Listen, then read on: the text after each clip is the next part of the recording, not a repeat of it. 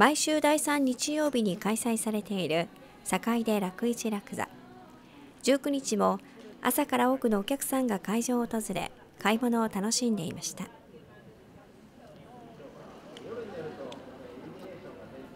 そして今回は12月4日に8歳の誕生日を迎えた坂出丸を祝おうと坂出丸ハッピーバースデー in 楽市楽座も開かれました。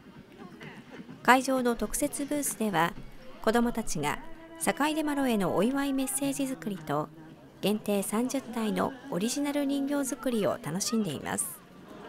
それ作ったの？可愛い顔してるね。いや可愛くないよ。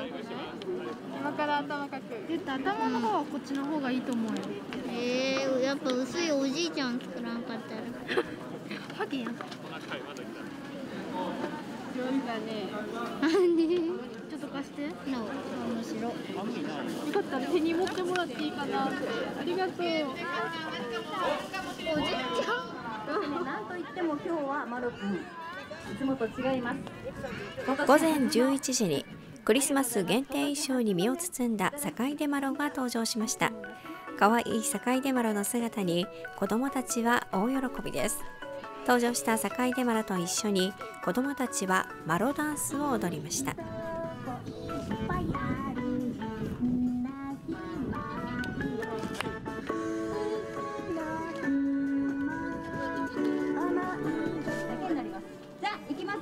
マロダンスで体を温めた後はみんなでじゃんけん大会です。優勝者にはクッキーが。参加者全員には坂出マロオリジナルノートがプレゼントされました。おめでとうございます。内心安心してるよ。クッキーになります。ありがとうございます。はい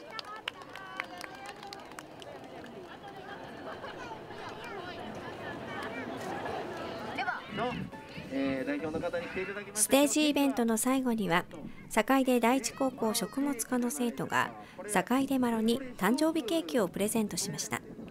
このケーキは食物科の1、2年生がアイデアを出し合いみんなで手作りしたものです。生徒が坂出マロにケーキを手渡しみんなで誕生日を祝いました。12月4日です。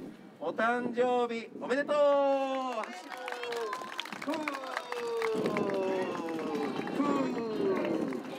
そうすると火が消えましたね。火が消えましたよ。先ほどついてた火が消えましたので。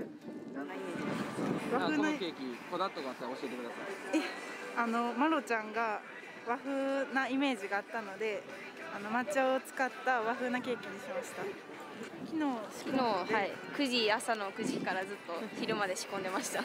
何個何個作ったんですかホールケーキ15台分ぐらい作りました。みんなでちなみにこのアイデアとかはどれぐらいから？2週間前ぐらいそのぐらい前からみんなでグループ作ってそれぞれあの自分たちのグループでアイデアを出して作ってそこから投票みたいな感じで決めました。お めでとうこれからも。元気で。元気で。頑張ってください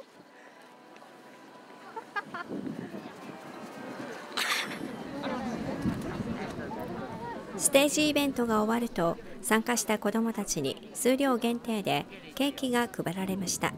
子どもたちの笑顔あふれる楽しいお誕生日会になったようです。